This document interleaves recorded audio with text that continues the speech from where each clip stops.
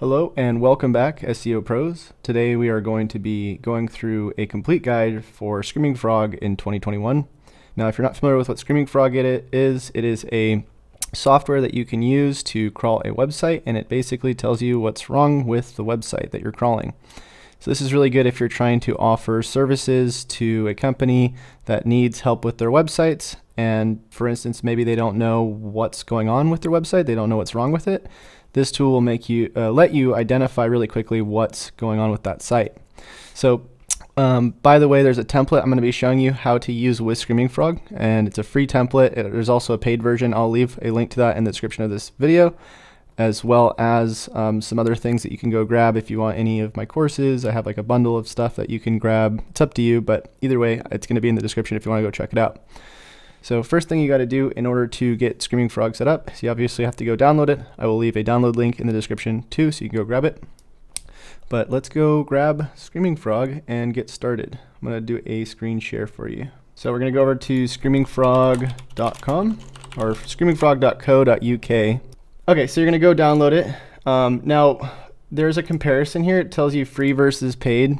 Um, the, really the biggest difference between the free version and the paid version is the uh, the free version gives you um, gives you 500 URLs that you can crawl on a website. The paid version gives you like unlimited. So if there's um, you know a bunch of uh, pages on the website and you can't crawl all of them, it's because you don't have the paid version.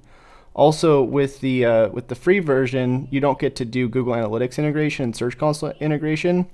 And the problem with not being able to do those things is that you're going to have a um, harder time being able to pull all the analytics into the crawl. We're just going to use the free version for this um, because you don't really need the paid version. A lot of this stuff you can do without having Google Analytics or Google Search Console integrated or being or even having to crawl you know more than 500 URLs. Um, I think the paid version is like $180. So if you do end up doing a lot of audits, I probably would get the paid version. But um, again, like if you're just starting out and you're just trying to get like some some basic like local websites crawled and figure out what's wrong with them, um, generally if you're starting out doing this stuff, you're only going to be wanting to work with local clients anyways, because it's a lot easier to rank those sites than to do something like national or like a mega site. So I would recommend just getting the free version, um, but eventually after you do a couple audits, you can start charging for them and it'll pay, the, the audits will pay for the tool. So let's go over to download. We'll just press downloaded download now. It works for Mac and Windows, I think. Okay, and then what we're gonna do is we're gonna open it up. So let's just start with this part. This is where you're gonna be putting in all your URLs. So any website you wanna crawl, you just enter the URL. We're gonna do chasereiner.com and press start. And what you'll start to see when you when you when you go, um, you're just gonna see all of the URLs show up on your crawl. These are all the different things on the website. Now there's a bunch of different um, filters that you can use. In here, you'll see if I click on this, it'll say HTML, JavaScript, CSS, images. Generally, you're just going to be filtering by HTML because you just want to see the pages that are on the website. So you don't really care too much about you know the images or the PDFs. You can do that if you're trying to see if they if they have certain things on the website like PDFs, but for the most part, you're just going to filter by HTML so you can see all of just the HTML pages on the website. Um, now, before I kind of go into what you're going to want to look at in terms of all the different errors, let me just go over these top, like this first row up here. So up here at the top we have File, um, Open. This is, I think, if you want to open a recent crawl that you've done. So um, if you save a crawl or you want to, um, you know, load a crawl that you've done, you can do that in here. Um, if you wanted to save the, the crawl, you would do that in here with the Control S or just save, save as. Let me actually clear this crawl so we can go in there. Um, configuration, this is if you wanted to load a certain, um, well, I'm, I'm not sure 100% if they changed this yet, but if you wanted to load like a certain layout that you have or a certain type of crawl, um, this it's supposed to be able, like if I change these columns right here, it's supposed to be able to, um, you're supposed to be able to save these columns and then, um, and then, and then load that configuration. It will, it'll go by the columns that you've sorted. Um, I think it'll also do other things like maybe load some presets you've had in here, like if you like want to crawl certain types of things. I'm not 100% sure on the configuration because it always has been kind of confusing, but I think these are all the different things that you can configure. Um, looks like the speed of the crawl, um, certain types of links, um, Google Analytics, Google Search Console, Um, but this has always been kind of wonky, and one of the biggest problems that I actually had with this back when I first started really kind of getting into Screaming Frog was the uh, the fact that the uh, configuration like was never really saving correctly, and I would try to give people my configuration, and it wouldn't load for them. So I don't know if it's been fixed yet, but apparently I heard from a couple people that it has. Um, my voice sounds different, does it? I think it sounds fine to me. Um, okay, so. Uh, so that's file, and then we have scheduling. I think this is if you wanted to schedule crawls. This is all like licensed versions, I guess. They've been adding a lot of new stuff for the license for the people who have the licenses. Um, Spider, this is if you wanted to only crawl certain types of things like images, CSS, um, certain types of links, AMP pages, extraction. So if you wanted to, for instance, not extract page titles or not extract um, meta descriptions, you could change that in here limits. So this is how many pages you might want to crawl on a website, how deep you want to go into the website with crawl depth, um, which basically just means how, how many links you're going to follow into the website. Um, rendering, this is that I'm not actually sure about. Advanced, um, so these are different things that you can you can basically force. For instance, like if there's a no index tag on a page, then um, you can respect no index, and basically what that means is that the uh, the robot won't go and actually crawl the, those pages that are no indexed. Or if you have a canonical, meaning like one, your one page is pointing to another page saying this page is about that page, then it's going to say, okay, well, we are going to crawl that page. So you can actually, you can do more advanced stuff in here, but I would generally leave all this stuff um, just at default. Preferences, so you can actually choose what you determine as a good thing or a bad thing. So there's defaults in here um, please decrease my size. Okay, let me see if I can do that. Do that. Um, so there's defaults in here, and one of them is like, you know, H1 length or alt text character length or image size. So um, low content word count. So you can basically set a standard for your crawl where you can say, well, you know, if there's um, H1 tags that are above 70 characters or above 80 characters, then um, show that as a warning sign or if there's low wor content word count, like if there's under a thousand words instead of under 200 words, give us a warning sign. And then you can actually uh, export all of those warning signs based on the parameters you set in there. But again, that's kind of the more, um, that's like the advanced, advanced stuff in there in the Spider. Um, content, so let's go look at this. There's a lot of new stuff in here that I actually haven't really spent a ton of time on. Um, define the content area to be used for word count, near duplicates, and spelling and grammar. Um, so I'm not really sure. I guess this looks for duplicate content, and I don't know if I would use this. I haven't done a lot of experimenting with it, but my my favorite tools are the tools that are actually specifically built for just like one thing. And I don't know if I would trust Screaming Frog 100% for content, especially duplicate stuff. Um, and also, I, I don't think they have any way of checking external content too, so content on a website that isn't your own. So what I like to use is, is SiteLiner and Copyscape. SiteLiner lets you see all of your internal duplicates, and then Copyscape lets you see all of your external, so if anybody's put content of yours on their websites. Um, but if you guys have tried this, let me know. I'm interested to hear from you um, about the content um, duplicate checker in Screaming Frog. Give me a one or just let me know afterwards if you're rewatching this and I'm interested to hear if you have used it. And if, if you have, you know, tell me if it works well. So robot settings, show internal URLs blocked by robots. Um, so yeah, so this will just show you the different errors for robots.txt if anything's blocked. Um, CDNs, so this I guess you can test whether or not CTNs, CDNs work or not, which is like a content delivery network. Um, so a lot of this stuff in here, by the way, like I don't really, I've never really spent a lot of time on.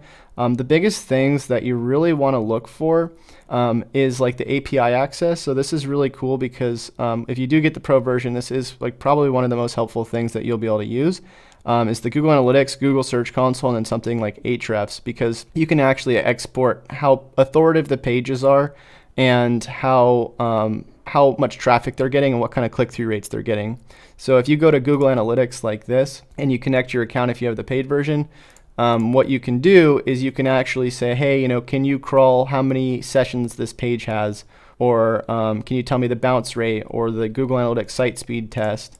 Um, and so this is really helpful because when you're doing audits at a large scale, it's nice to be able to see the traffic for all these different pages, as well as like the different analytics data like average session duration, bounce rate, conversion rate. Um, Google Search Console, when you hook this up, gives you a click-through rate and impressions for the page and so on and so on. So you end up getting when you're when you after you do a crawl, you get like hundreds of tabs that show not hundreds, but you know 10 or 20 tabs from Google Analytics, Google Search Console that show you data that you wouldn't normally get just from a regular crawl. But obviously, you do have to have um, you do have to have Google Analytics and Google Search Console hooked up to the crawl in order to do it, which means you have to have the logins to those, um, or at least some sort of edit access to those in order to hook them up to Screaming Frog. And then with Ahrefs, um, or any of these other things like Moz, it'll um, Screaming Frog will show you the um, the authority of those pages as well, so how powerful they are, which is kind of cool. Um, so that's API access, and then um, um, columns or user interface. So this is this is kind of cool. You can make it dark, but uh, the part that's really important about this the columns is that again like if you wanted to see your status code errors first or you wanted to see the content types first or you wanted to see the title tags you can rearrange all that stuff and when you export it it's really helpful to have it all lined up um, again, the problem though is I don't know if they save these layouts anymore because um, unfortunately, like I don't I don't know why they weren't letting you save it before. So you would spend all this time resorting the or sorting out the columns so that it lines up the way you want it, and then it wouldn't save those, and you, would have to do it redo it every time before. Um, so mode. So there's like different ways that you can kind of list out the um, the way the data looks on here. So if you wanted to see like a list view like this if you wanted to see the spider view. I don't really know, like I just keep it default. Um, so I don't know if it really matters which mode you're in too much. Bulk export, this is if you want to export certain types of stuff like links or security errors, so on and so on. Reports, so I think this just gives you kind of re uh, reports on all the different things. I think it's very similar to bulk export, except it just shows you um, different issues that might be going on with like page speed and pagination, more of the technical errors, um, which this one doesn't. This is more of like the HTML errors, I guess. Um, sitemap, so XML sitemap, this will give you a, um, an XL, XML sitemap of your uh, website if you want to grab that. Visualizations, this gives you like some weird crawl tree graph, which looks kind of weird. I'll show you how that looks in a second crawl analysis. This is new. I'm not really sure. You got and then the license and the help. So let's just go crawl website really quick, chasereiner.com. And let me show you what that visualization looks like so you can see it. Crawl tree graph. So you can see here it gives you kind of like, oh, here's the home page, and then it goes to these pages. It just kind of shows you how everything's being linked. And then you have a directory tree graph as well, which is similar, except it just does it by the file the file path or the folder path like this. Um, so let's go into all these different tabs. So basically all the tabs you see up here are all the same tabs you see on the right. Um, it looks kind of confusing, but it, for some reason it's kind of redundant. So right here, um, this is all the internal URLs on the website. If I filter by HTML, I can see all of the different internal URLs. If I type, if I click on external, this will show me all of the URLs that are being linked to from the website. So externally, meaning that these pages are all being linked to from the home page basically or from somewhere on the website. These pages are all being linked from some of these pages but to other websites like Twitter or Stripe or you know whatever. Um, security, this shows us if there's any security errors on the website um, and it basically tells you this by HTTP or HTTPS I believe. It looks like all of my uh, URLs are HTTPS which is good. Um, and I think you can filter, yeah, so you can filter by HTTP or HTTPS. And I think my one HTTP URL is actually 301, so that means it's redirected to the preferred version, which is great. Um, and then the cool part about this, by the way, when you go like this, it'll give you dr different drop downs and it'll show you, hey, maybe you want to look at these different things like bad content type or missing this thing or, you know, um, insecure, whatever. So uh, you can go through these different, uh, basically these different menu items. And all these menu items, by the way, are under on the right. So sometimes it, I think it's honestly easier to look on it at it from the right because everything you're going to see on the right is the same thing that you're going to see up here with the filter tab. And if you don't know what I'm talking about, let me show you. So if I go to response codes here, um, that's going to be the same thing that I'm going to see on the right here. And I think it is whenever I go like this, whenever I click on the next thing, it just takes me to wherever that is on the right. And then my drop down right here is going to be the same drop down that's right here. So it's easier just to visualize all of it on the right because then it just give me gives me number counts on the things that I need to fix. And if you don't know what I mean here, let me show you. So right here we have um, summary. This is um, the total number of URLs that were crawled. So we have uh, 500 URLs on the website, crawled 100% of the website. Um, oh, sorry. It total URLs encountered 500 um, total URLs crawled 496. So I got I just I just made the cut. Total internal URLs 352. Total total external URLs so URLs pointing to outside websites um, uh, 148. Um, and then internal. So now we can start going in each thing. So here's all the H, um, the pages that were encountered right here. Um, here's all the images that were encountered. Here's all the external URLs. Um, and then I can start going to the, each of the other things. So like security. So um, only one HTTP error found, and generally the things towards the top are the biggest errors. Um, let me see if I can. You, are you guys following along so far? Are we all good? Give me a one in chat if everything seems seems good so far. Make sure we're all on the same page here. Okay, so um, so HTTP generally, like if you find an error like this, that's going to be kind of the worst thing. Like you want to make sure that you don't have that you do have SSL on your website. Um, and then you can see here's all of the ones that are good. Um, unsafe cross origin links. I don't even know what this is, but I'm sure, I think there's documentation for each of these things. It would be nice if they just had a little link that told you what some of this stuff meant, but I'm, I'm, I'm sure that you can just um, um, copy this and then plug it into Google and, and Screaming Frog will tell you what it is. Um, but again, a lot of this stuff is newer. I'm not really sure what, um, I'm not really sure what some of it is. But uh, yeah, biggest thing is like the stuff towards the top. Um, response codes, so pages blocked by robots.txt, and these are fine because I don't need these pages showing up on my website.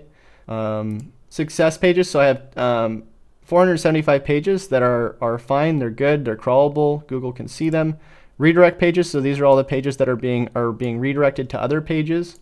Um, this page is actually 404, meaning that some page on my website is linking to a page that's broken, so I need to go fix that. And I believe if I click on it too, it'll show me the origin of it. Uh, might be wrong about that. Let's see, in links. So yeah, from, from my home page.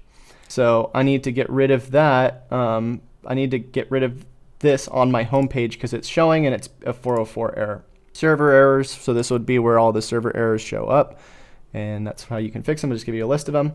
And again, the cool part about this is you can export any of these errors and you can categorize them. You can like have a bunch of different exports. So like issues here, issues here, issues here, and you can turn it into basically like an SEO proposal that you can give to people that um, you can show them the things that are wrong with your website. So URL, um, so if there's uppercase um, letters in your URLs, um, if there's underscores, if there's um, parameters, over 115 character URLs, page titles. So um, if you have a bunch of page titles in here that are um, either missing or you have duplicate titles or they're over 60 characters or, or, below 30.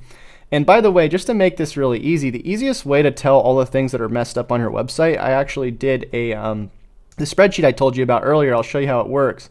Um, you can export all of these issues. Let me just uh, let me go to internal I'll filter by HTML and I'll press export. And then I can use this spreadsheet and it has formatting set up. And what the formatting does is it, um, it gives you all of the stuff in reds and greens. So you know which ones to fix based on the, the formatting. So let me go actually get that spreadsheet so I can show you. Um,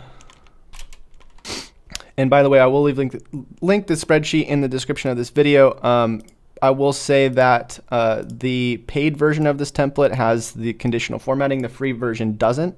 Um, the free version is just the checklist. We got all the different errors. So when you export your um, your crawl, um, what you can see is that it'll give you everything that's good or bad. So that way you don't have to actually remember. Because the hardest part about all of this stuff in Screaming Frog is like going in here and remembering everything.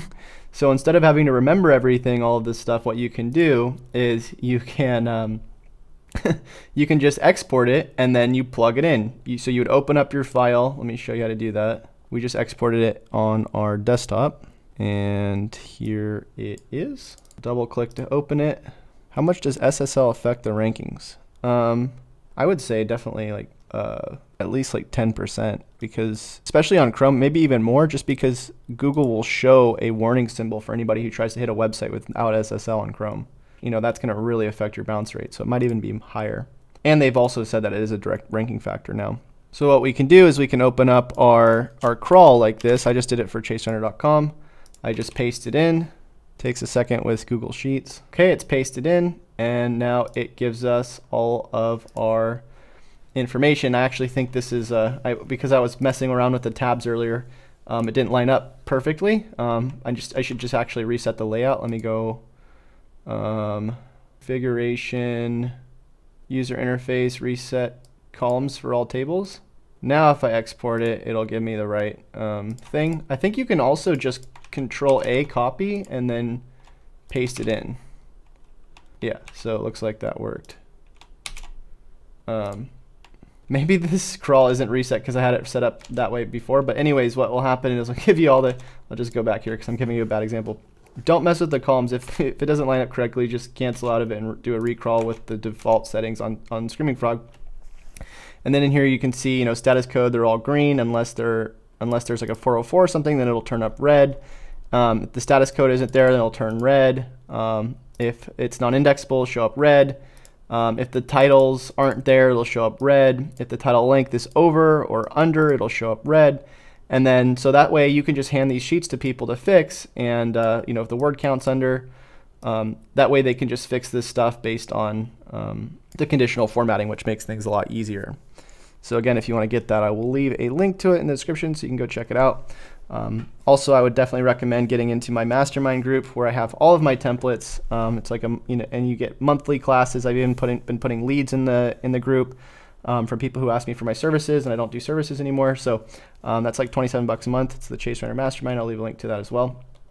But um, that's kind of the basics to Screaming Frog. Um, what I might, do, what I'm going to end up probably doing in the future is doing a like a series where I just do audits with Screaming Frog, so you guys can see me doing it live. If you want to see me doing that, um, let me know, and I will do that. I'll leave a link, or I'll I'll do that for you guys. But um, anyways, I'm gonna head out until we see y'all next time. Happy SEOing. See you next time. Bye.